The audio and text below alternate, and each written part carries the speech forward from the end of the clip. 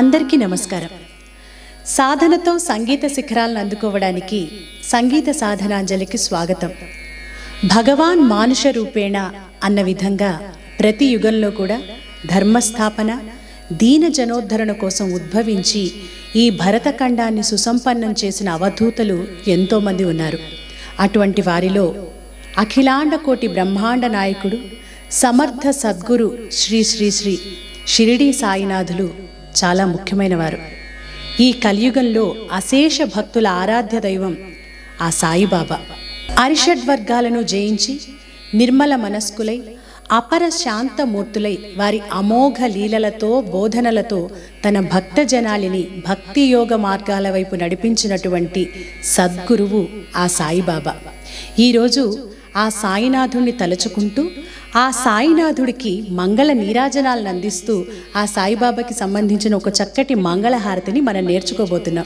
చాలా రోజులుగా చాలామంది సాయిబాబాకి సంబంధించిన పాటలు నేర్పించండి మంగళహారతులు నేర్పించండి అని అడుగుతున్నారు కదా. కాబట్టి ఈరోజు సాయిబాబాకి మంగళహారతి ఒక చక్కటి పాట వింటుంటే ప్రతి పదంలో కూడా ఆ సాయిబాబా మన ముందున్నట్టు అనిపిస్తుంది. అంత చక్కగా ఉంటుంది సాహిత్యం. అదేవిధంగా ఈ పాట ట్యూన్ కూడా కళ్యాణి రాగం. కళ్యాణి రాగం అంటే చాలా ఫేమస్ రాగం. చాలా లైట్ మ్యూజిక్ సాంగ్స్ భక్తి గీతాలు పద్యాలు ఏది పాడినా కళ్యాణి రాగంలో చాలా అద్భుతంగా ఉంటుందన్నమాట. అంటే మనకి ఎన్నో వేల రాగాలు ఉంటాయి కానీ కొన్ని రాగాలు ఎప్పుడు ఏ సమయంలో సర్వకాల సర్వావస్థల్లో ఏ సమయంలో ఉన్నా ఎప్పుడు పాడినా ఎవరు పాడినా ఎక్కడ పాడినా కూడా వినడానికి చాలా మధురంగా ఉండే రాగం ఈ కళ్యాణి రాగంలో. ఈరోజు ఈ మంగళహారతి నేర్చుకోబోతున్నాం. ఆది తాళం తాళం విషయానికి వస్తే ఆది తాళం ఇక శృతి జీ షార్ అంటే ఐదున్నర శృతిలో. ఎందుకంటే ఈ పాటలో మధ్యలో కొంచెం హై పిచ్లో ఉంటుంది కాబట్టి అందరూ పాడుకోవడానికి వీలుగా ఉండడానికి జీ షార్ప్ ఐదున్నర శృతిలో ఈ పాటను నేర్చుకుందాం.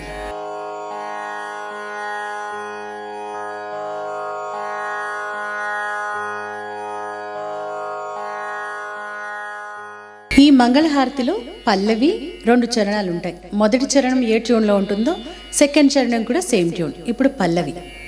స్వామి సాయినాథాయ. స్వామి సాయినాథాయ. దివ్యమంగళం. దివ్యమంగళం.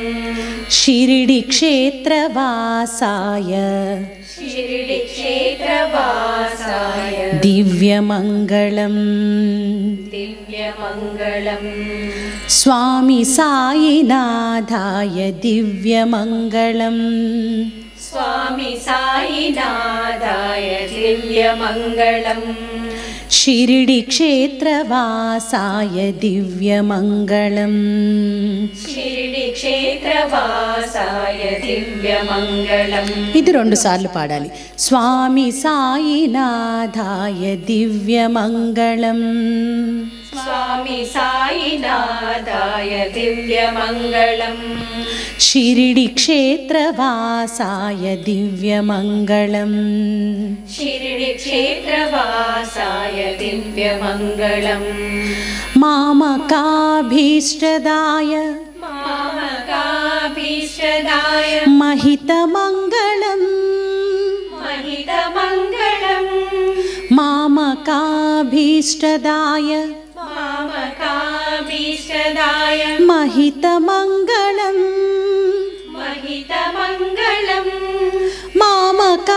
మామకాభీష్టదాయ मामकाभीष्टदाय మహితమంగళం महितमङ्गलम् సో మొదటి మామకాభీష్టదాయ మామూలుగా పాడాం మామకాభీష్టదాయ మహితమంగళం ఇప్పుడు రెండోసారి మామకాభీష్టదాయ మహితమంగళం. అర్థమైందా? మళ్ళీ ఒకసారి. మామకాభీష్టదాయ మహితమంగళం. మామకాభీష్టదాయ మహితమంగళం. అని పాడాలి. ఇప్పుడు పల్లవి మొత్తం ఒకసారి పాడదాం. स्वामी साईनाथाय दिव्यमङ्गलं शिरिडिक्षेत्रवासाय दिव्यमङ्गलं स्वामी साईनाथाय दिव्यमङ्गलं शिरिडिक्षेत्रवासाय दिव्यमङ्गलं मामकाभीष्टदाय महितमङ्गलम् मामकाभीष्टदाय महितमङ्गलं स्वामी साईनाथाय दिव्यमङ्गलं షిరిడిక్షేత్రవాసాయ దివ్యమంగళం ఇది పల్లవి ఇప్పుడు మొదటి చరణం లోకనాథాయ लोकनाथाय సాయి साई దివ్యమంగళం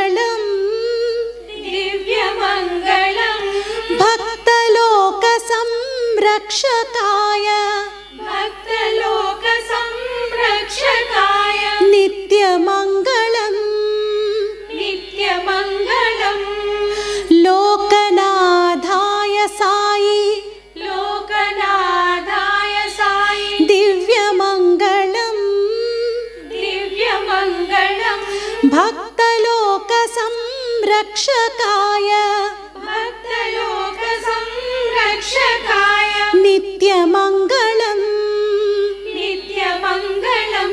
రెండు సార్లు పాడాలి. లోకనాథాయ సాయి దివ్యమంగళం లోకనాథాయ సాయి దివ్య దివ్యమంగళం భక్తలోక సంరక్షకాయ నిత్యమంగళం భక్తలోక సంరక్షకాయ నిత్యమంగళం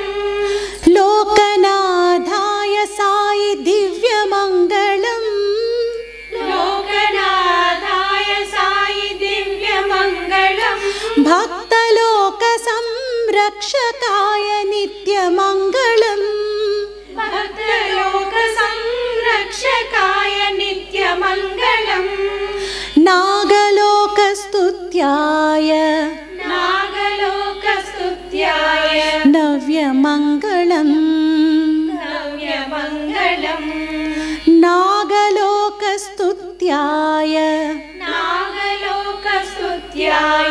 నవ్యమంగళం नव्यमङ्गलम् ఇది కూడా రెండు సార్లు నెక్స్ట్ సద్గురు సాయినాథ सद्गुरु साईनाथ సర్వమంగళం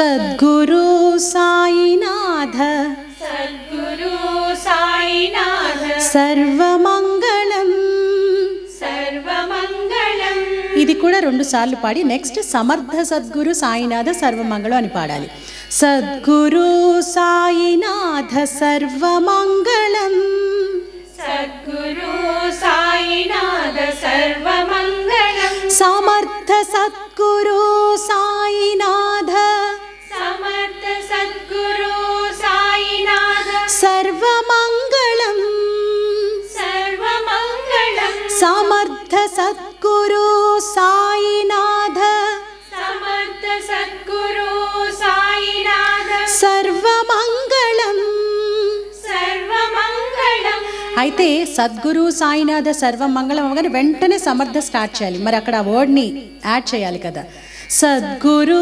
సాయినాథ సర్వమంగళం సమర్థ సద్గురు సాయినాథ సర్వమంగళం సద్గురు సాయినాథ సర్వమంగళం సమర్థ సద్గురు సాయినాథ सर्वमङ्गलम् అది అక్కడ తాళం అడ్జస్ట్ అవ్వాలంటే ఆ సద్గురు యాడ్ చేయాలి కాబట్టి వెంటనే గ్యాప్ ఇవ్వకుండా ఆ సమర్థాన పదాన్ని యాడ్ చేయాలి ఇప్పుడు చరణం మొత్తం పాడదామా लोकनाधाय सायि दिव्यमङ्गलं भक्तलोकसंरक्षकाय नित्यमङ्गलम् लोकनाधाय सायि दिव्यमङ्गलं भक्तलोकसंरक्षकाय नित्यमङ्गलम् नागलोकसुत्याय नव्यमङ्गलम् नागलोकस्तुत्याय नव्यमङ्गलम्। सद्गुरु साईनाथ सर्वमङ्गलम्। सद्गुरु साईनाथ सर्वमङ्गलं समर्थ सद्गुरु साईनाथ नाथ सर्वमङ्गलं समर्थ सद्गुरु साईनाथ नाथ सर्वमङ्गलम्। स्वामि सायिनादाय दिव्यमङ्गलम्। शिरडिक्षेत्रवासाय दिव्यमङ्गलम्। दिव्यमङ्गलं स्वामि दिव्यमङ्गलम्। शिरडिक्षेत्रवासाय दिव्यमङ्गलम्। इप्पुडु रण्डव इडवचरणं भक्तबृन्दवन्दिताय भक्तवृन्दवन्दिताय। ब्रह्मस्वरूपाय। ब्रह्मस्वरूपाय। मुक्तिमार्गबोधकाय। मुक्तिमार्गबोधकाय। पूज्यमङ्गलम्। पूज्यमङ्गलम्। भक्त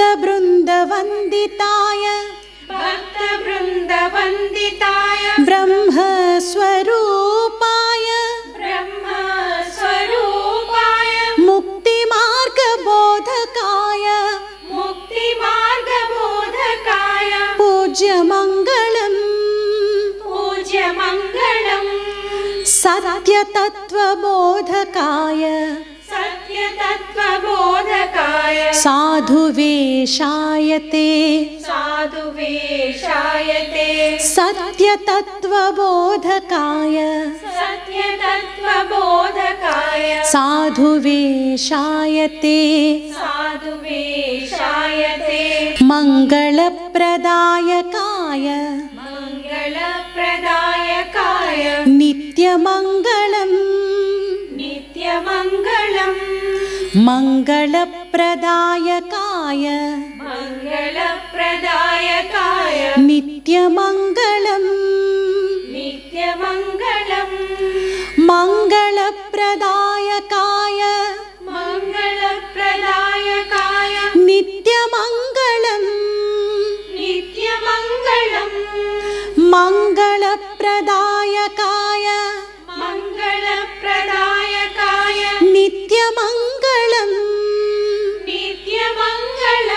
అంతే మొదటి చరణంలో ఎలా రిపిటేషన్స్ పాడామో సేమ్ రిపిటేషన్స్ పాడదామా?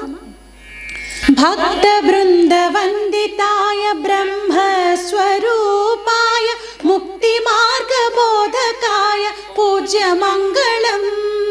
భక్త బృంద వందితాయ బ్రహ్మ స్వరూపాయ ముక్తి మార్గ బోధకాయ పూజ్య మంగళం. सत्यतत्त्वबोधकाय साधुवेशायते सत्यतत्त्वबोधकाय साधुवेशायते मङ्गलप्रदायकाय नित्यमङ्गलम् मङ्गलप्रदायकाय नित्यमङ्गलम् मङ्गलप्रदायकाय नित्यमङ्गलम् మంగళప్రదాయకాయ నిత్యమంగళం ఈ చరణం పాడాక పల్లవి మొత్తం ఒకసారి పాడాలి స్టార్టింగ్లో పాడాం కదా పాడండి స్వామి సాయినాథాయ దివ్యమంగళం షిరిడి క్షేత్రవాసాయ దివ్యమంగళం మామకాభీష్టదాయ మహితమంగళం मामकाभीष्टदाय महितमङ्गलम् स्वामि सायिनादाय दिव्यमङ्गलम् शिरडिक्षेत्रवासाय दिव्यमङ्गलम् स्वामि सायिनादाय दिव्यमङ्गलम् షిరిడిక్షేత్రవాసాయ దివ్యమంగళం. ఇప్పుడు ఎండింగ్ ఏ విధంగా పాడాలో చూద్దాం. ఇక్కడ దివ్యమంగళం అని ఆగాం కదా ఇక్కడ? దివ్యమంగళం సాయి దివ్యమంగళం దివ్యమంగళం సాయి దివ్యమంగళం. ఈ పాటని భజన్ లాగా పాడదాం. ఎందుకంటే సాయిబాబాకి భజన్ అంటే చాలా ఇష్టం కదా. కాబట్టి దివ్యమంగళం సాయి దివ్యమంగళం రెండు సార్లు. దివ్యమంగళం సాయి దివ్యమంగళం. దివ్యమంగళం సాయి దివ్యమంగళం. దివ్యమంగళం సాయి దివ్యమంగళం. ദിവ്യമംഗളം സായി ദിവ്യമംഗളം നിത്യമംഗളം സായി നിത്യമംഗളം. നിത്യമംഗളം സായി നിത്യമംഗളം നിത്യമംഗളം സായി നിത്യമംഗളം. നിത്യമംഗളം സായി നിത്യമംഗളം सर्वमङ्गलं साई सर्वमङ्गलम् सर्वमङ्गलं साई सर्वमङ्गलम् सर्वमङ्गलं साई सर्वमङ्गलम् సర్వమంగళం సాయి సర్వమంగళం ఇలా మనం దివ్యమంగళం రెండు సార్లు పాడాం తర్వాత నిత్యమంగళం రెండు సార్లు పాడాం తర్వాత సర్వమంగళం రెండు సార్లు పాడాక ఇంకొంచెం పై స్థాయిలో ఒక్కొక్కసారి. దివ్యమంగళం సాయి. దివ్యమంగళం సాయి. నిత్యమంగళం సాయి. నిత్యమంగళం సాయి. సర్వమంగళం సర్వమంగళం ఈ సర్వమంగళాన్ని ఒక ఫైవ్ టైమ్స్ పాడుతూ ఫేడ్ అవుట్ అనుకున్నాం కదా సౌండ్ తగ్గిస్తూ పాడడం. సర్వమంగళం సాయి సర్వమంగళం సాయి సర్వమంగళం సాయి సర్వమంగళం సాయి సర్వమంగళం అని పాడాక శ్రీ సమర్థ సద్గురు శ్రీ సమర్థ సద్గురు సచిదానంద సచ్చిదానంద సాయినాథ్ మహారాజ్ की సాయినాథ్ మహారాజ్ కి జై అని ఎండ్ చేద్దాం కాకపోతే ఆ చివరి దివ్యమంగళం అవి పాడేటప్పుడు కొంచెం టెంపో పెంచి కొద్దిగా ఫాస్ట్గా పాడితే బాగుంటుంది. అర్థమైందా మొత్తం? ఇప్పుడు మొత్తం పాట మొత్తం కలిపి ఒక్కసారి బ్రేక్ లేకుండా పాడదాం. స్వామి సాయినాథాయ దివ్యమంగళం షిరిడి క్షేత్రవాసాయ దివ్యమంగళం स्वामि सायिनाधाय दिव्यमङ्गलम् शिर्डिक्षेत्रवासाय दिव्यमङ्गलम् मामकाभीष्टदाय महितमङ्गलम् मामकाभीष्टदाय महितमङ्गलम् स्वामि सायिनाधाय दिव्यमङ्गलम् शिर्डिक्षेत्रवासाय दिव्यमङ्गलम् लोकनाथाय साई दिव्यमङ्गलं भक्तलोकसंरक्षकाय नित्यमङ्गलम् लोकनाथाय साई दिव्यमङ्गलं भक्तलोकसंरक्षकाय नित्यमङ्गलम् नागलोकस्तुत्याय नव्यमङ्गलम् नागलोकस्तुत्याय नव्यमङ्गलम् सद्गुरु साईनाथ सर्वमङ्गलम्। सद्गुरु साईनाथ सर्वमङ्गलं समर्थ सद्गुरु साईनाथ सर्वमङ्गलं समर्थ सद्गुरु साईनाथ सर्वमङ्गलम्। स्वामि साईनाथाय दिव्यमङ्गलम्। शिरिडिक्षेत्रवासाय दिव्यमङ्गलं स्वामि साईनाथाय दिव्यमङ्गलं शिरिडिक्षेत्रवासाय दिव्यमङ्गलम् भक्तवृन्दवन्दिताय ब्रह्मस्वरूपाय मुक्तिमार्गबोधकाय पूज्यमङ्गलम् भक्तवृन्दवन्दिताय ब्रह्मस्वरूपाय मुक्तिमार्गबोधकाय पूज्यमङ्गलम् सत्यतत्त्वबोधकाय साधुवेशाय ते सत्यतत्त्वबोधकाय साधुवेशाय ते मङ्गलप्रदायकाय नित्यमङ्गलम् मङ्गलप्रदायकाय नित्यमङ्गलम् मङ्गलप्रदायकाय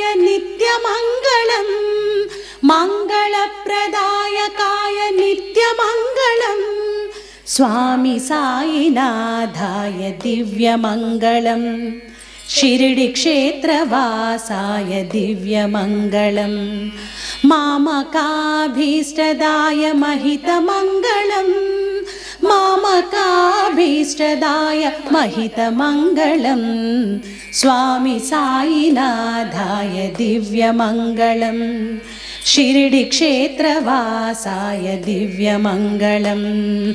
स्वामि साईनाथाय दिव्यमङ्गलम्। शिरडिक्षेत्रवासाय दिव्यमङ्गलम्। दिव्यमङ्गलं साई दिव्यमङ्गलं दिव्यमङ्गलं साई दिव्यमङ्गलं नित्यमङ्गलं साई नित्यमङ्गलं நித்யமங்கலம் சாய் நித்யமங்கலம். சர்வமங்கலம் சாய் சர்வமங்கலம்.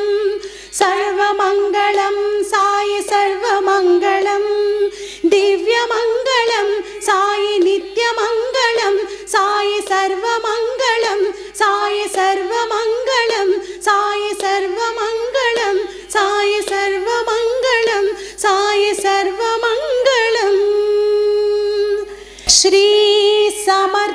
सद्गुरु सच्चिदानंद साईनाथ महाराज की జై